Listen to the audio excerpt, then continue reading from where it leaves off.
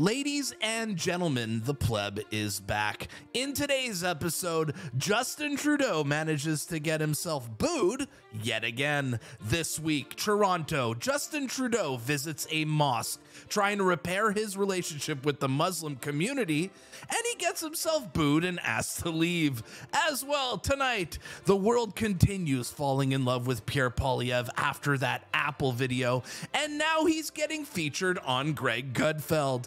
And in our last story, the pleb visits Ottawa to cover the trans rights protests and gets himself attacked. You won't want to miss tonight's story. Stick around.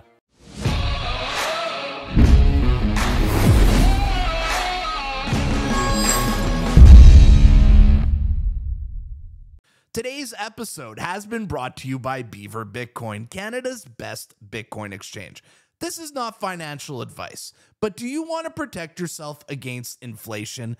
Our governments are out of control, printing money whenever they feel like it, essentially stealing from you. Now, do you want to protect yourself against that? You need to own Bitcoin because they cannot print any more Bitcoin, and this is why the government hates it. It takes power away from them. If you want Bitcoin, head over to beaverbitcoin.com. The link is in the description below. Thank you for sponsoring my channel, and let's start with today's episode.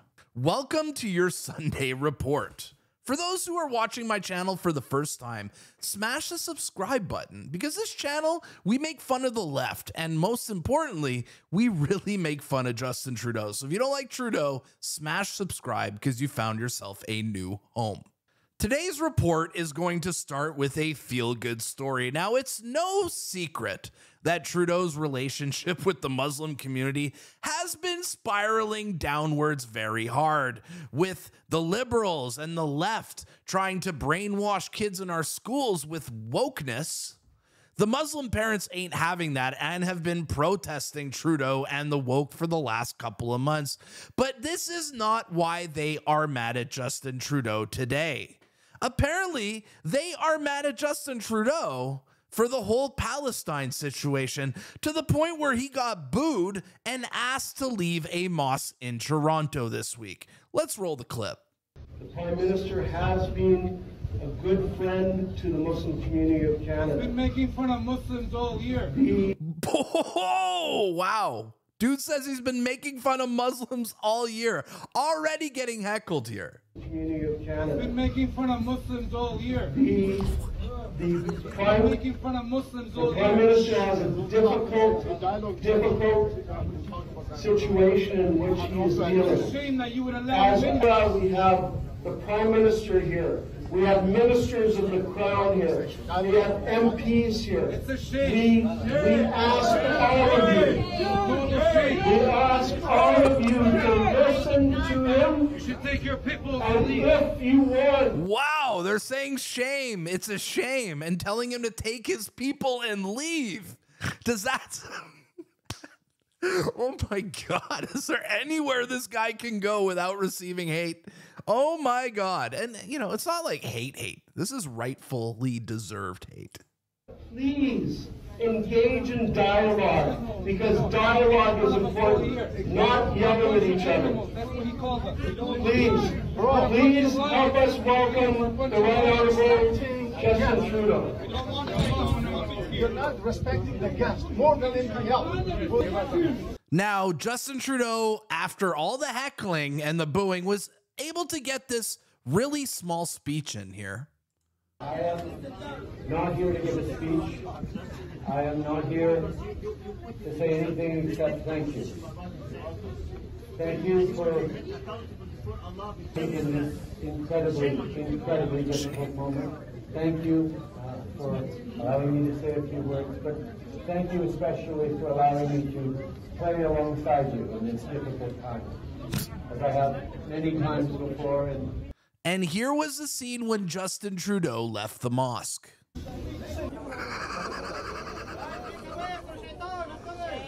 Oh man. How many more Palestinian children need to be slaughtered? How many more before you call for a ceasefire?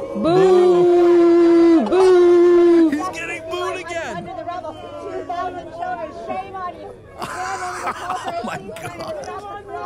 of Palestinian women, children, and men. Shame. Don't bring him in. Don't invite upstairs. I almost feel bad. Like Justin Trudeau's getting booed everywhere he goes. He's getting heckled everywhere he goes. It's almost as if Canada is bullying Justin Trudeau. I kind of feel bad. Actually, no, I don't. That guy. Here is an example of why I don't feel bad. Just read this tweet here. My man really said thank you. Just look at Justin Trudeau. Look at his body language. He's literally getting booed and heckled. And he's telling these people thank you. It's as if he loves the abuse. But even though Justin Trudeau got booed, heckled, told to leave, of course that wasn't going to get in the way of a good photo op very Justin Trudeau esque. But underneath that photo op tweet from Justin Trudeau from the mosque, the comments did not disappoint. This is your typical Trudeau comment section nowadays. From anti taxer, you are the worst prime minister in history. Just go away. Unacceptable Canadian girl says, learn to read the room. Nobody likes you. The pleb wrote, these people booed and heckled you. LOL. yeah, it was funny.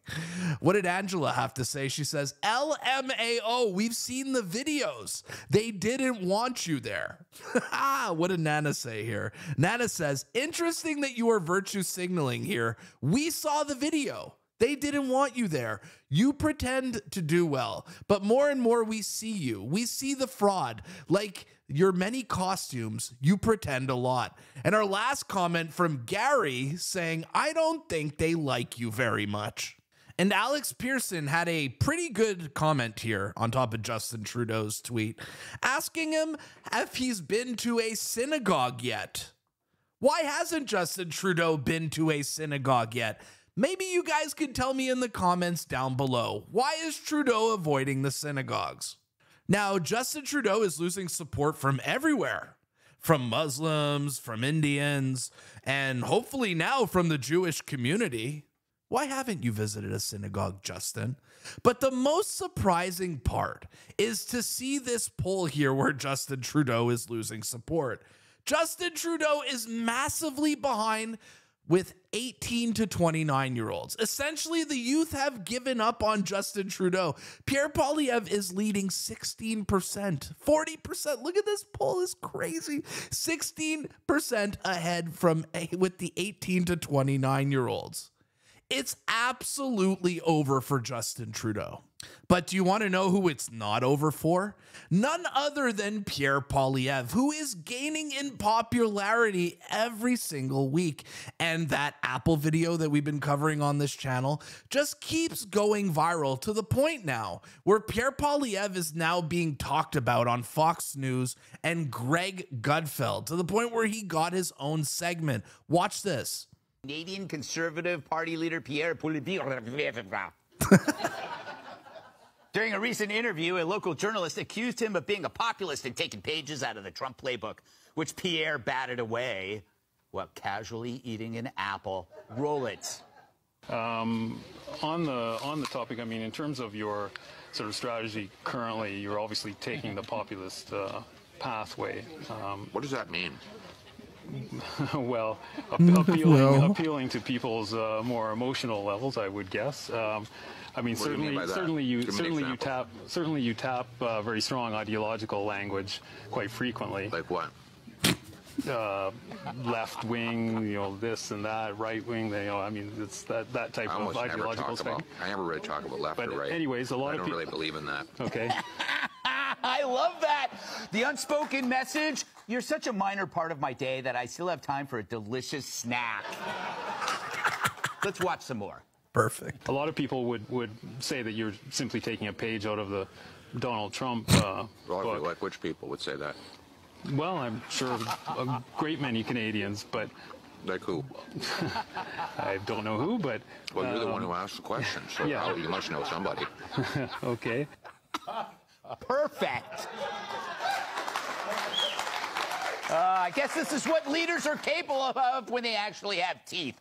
Tyrus, the best, The best part about this is it's not just the apple, it's that he forced the reporter to explain the origins of his nonsense questions because he kept saying like some people, you know, that has to be done to reporters. Well, he made him follow up his question. Yeah. But what? Uh, and I've I've done this a lot in my life to people who I find inconsequential when they're talking to me. Yeah. Like it used to be where a guy would start smoking a cigarette while they're talking to you, and they both smoke. Yeah. What? Yeah. He picked the loudest fruit in the world. that is the perfect. I give zero fruit. Yeah. When someone's talking to you and you're eating an apple, because there's no quietness that just keeps going, which then rattles the guy, and then he sits there and he's got his. I mean, only thing he was missing was a leather jacket.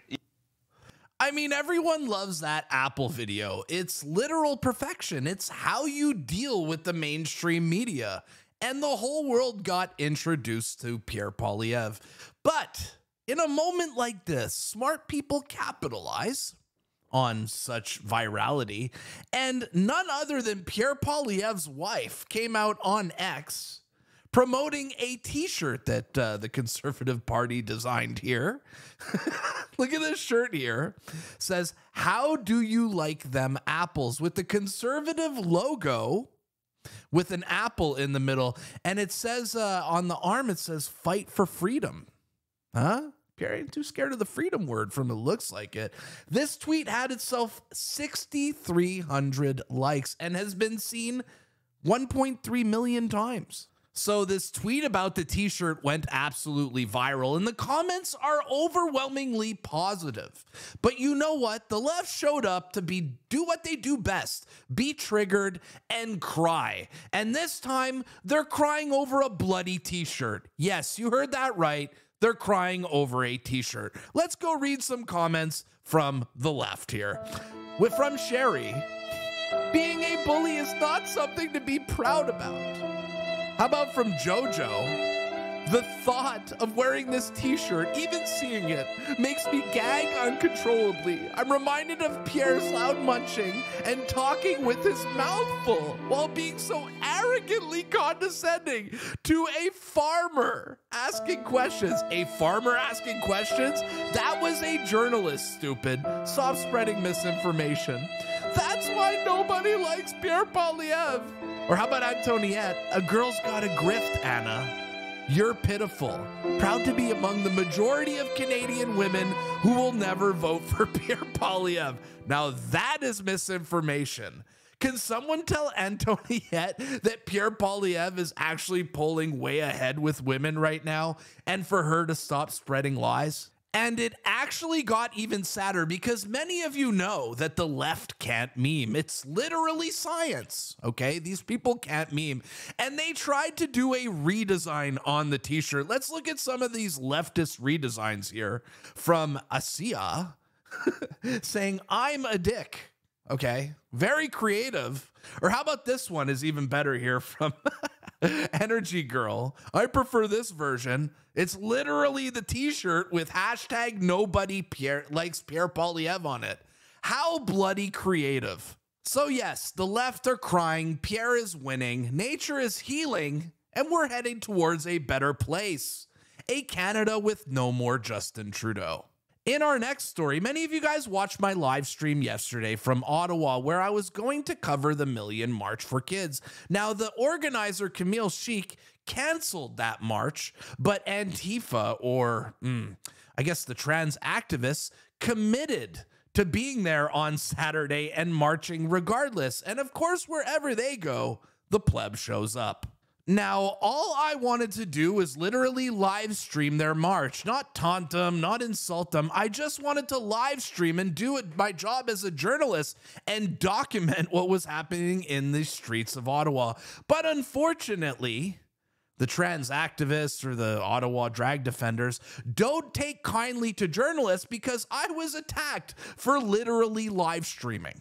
Thanks to my friend Daisy Media for capturing this footage. Let's roll it. So here comes a counter protest escorted in by Ottawa police. You guys can see me right here. He's literally slapping my phone away. Hey!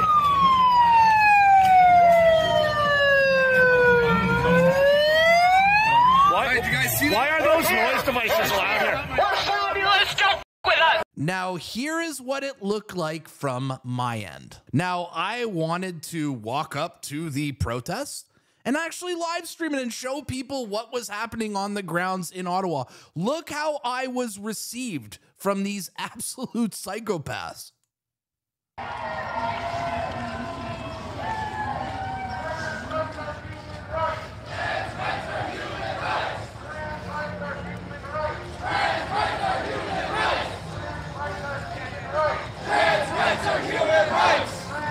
All right, we're in the front line. Huge.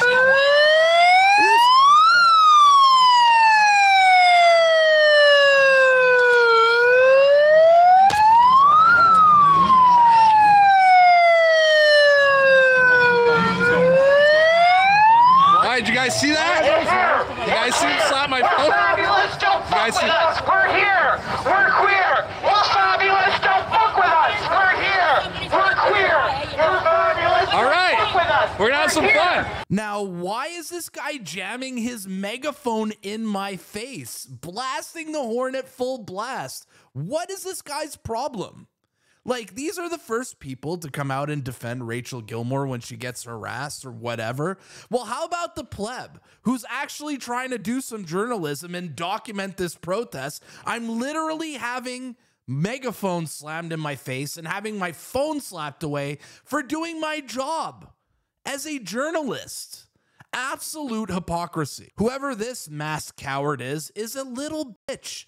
And to be honest with you, an absolute hypocrite. All I was doing was live streaming the march, and I got attacked for being a conservative. Yes, for being a conservative. That's why I got attacked. Does that sound Canadian to you? But don't worry, because Pierre Poilievre is going to be prime minister soon. And I'm going to continue using my platform to make sure that these heavily medicated dorks in Antifa don't get any funding from our government because this is what they're literally doing attacking journalists. Anyways, enough with the Antifa negativity. Let's talk about something funny. The Trudeau liberals are now pretending like they care about housing, something Pierre Poilievre has been talking about for a little while now, over well over a year. But now Justin Trudeau is pretending like the Liberal Party are the party of getting things built.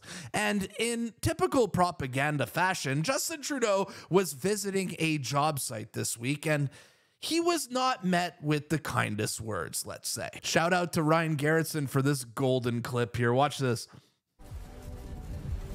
Guys, thanks for all your hard work. Wipe that fucking smirk off his fucking face.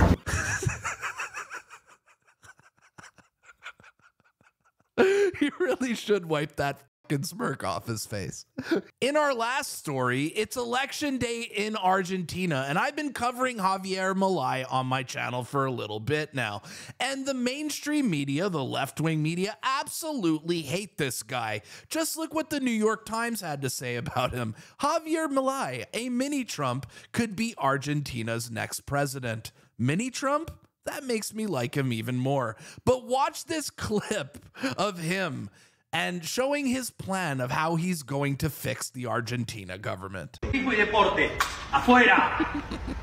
Ministerio de Cultura, afuera.